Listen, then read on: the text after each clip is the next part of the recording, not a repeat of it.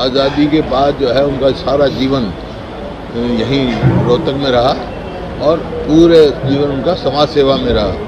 जो भी होता वो एक प्रेरणा स्रोत रहे हमारे लिए, आज भी हैं। और चाहे वो स्टैचू शहीद भगत सिंह के हैं, चाहे पंडित जवाहरलाल नेहरू का है, सुभाष चंद्र बोस जी का है, उनका सबका उन्होंने वहाँ करवाया, ये सोच के कि भी आने वाली पीढ़ी प्रेरणा ले लोगों से। कि कितनी कठिनाई से आज़ादी मिली। है अच्छा आपने कहा कि इतिहास के साथ इतिहास के साथ छेड़छाड़ की जा रही है। आपका क्या तात्पर्य? नहीं ये मनमोहन ने कहा था ना भाई इतिहास स्वतंत्र सेनानियों का इतिहास नहीं लिखा जा रहा।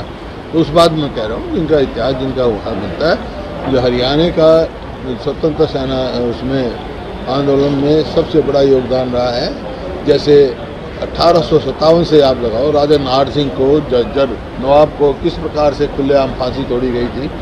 नंबरदार उधम सिंह को यहाँ सोनीपत में पेड़ पे कील गाड़ के वो उसकी और धर्मपत्नी को भूखा मार के मारा गया था। इस प्रकार से बहुत कुर्बानियाँ हैं, अठारह सौ सत्तावन से आप देखो। उसके बाद आज़ादी की लड़ाई में महान नेता यहाँ के रहे हैं और यहाँ की कर्म भूमि लाला की भी रही, लाला लाजपत राय की भी कही है तो इस वास्ते इतिहास में जिनकी जो वो है उसके स्थान वो उनको मिलना चाहिए। तो सरकार का अच्छा चिंतन शिविर हुआ उदयपुर में उसके बाद दो बड़े कांग्रेस के नेता छोड़ के जा चुके हैं जाखड़ और भाग्य कई आ भी चुके हैं।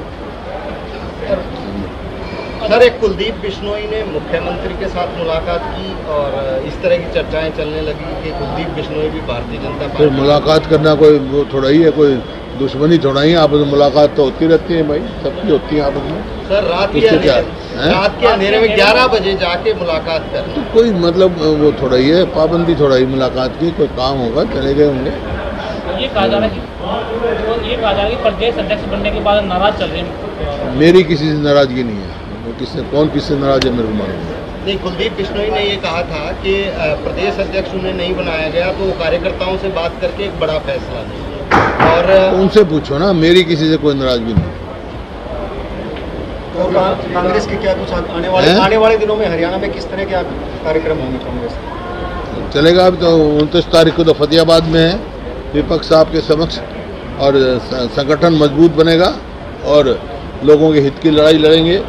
जो ये सरकार जो है नॉन परफॉर्मिंग गवर्नमेंट जो एक भी जनहित का फैसला नहीं किया इसने हर वर्ग जो इससे विमुख हो चुका है उनकी आवाज़ बन के उभरेंगे और उनकी जो हमारे से आशाएँ हैं अपेक्षाएँ हैं उनको पूरा करेंगे। आपके समय में नया प्रदेश अध्यक्ष बनने के बाद मज़बूत कांग्रेस नया प्रदेश अध्यक्ष बनने के बाद कांग्रेस मज़बूत हुई है या कांग्रेस सदैव मज़बूत थी।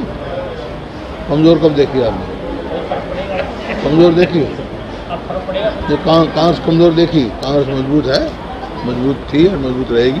हुड्डा साहब आपके समय में यहाँ रोहतक में एक 16 एकड़ ज़मीन का मामला था जो गोड ब्राह्मण शिक्षण संस्थान को दी गई। और उसको लेकर के अब पूरे प्रदेश में लोग लामबंद हो रहे हैं कि उस ज़मीन को गोड ब्राह्मण शिक्षण संस्थान को दिया जाए और सरकार उस बारे में कोई हमने तो दी थी अब उनका ही हक बनता उनको देनी चाहिए। हाँ पता नहीं उन्हीं को देनी चाहिए। वो ये कह रहे हैं कि साढ़े आठ करोड़ रुपए जमा कराओ, उसके बाद। जो जिस कंडीशन पे हमने दी थी उनसे सलाह करके, उसी पे देनी चाहिए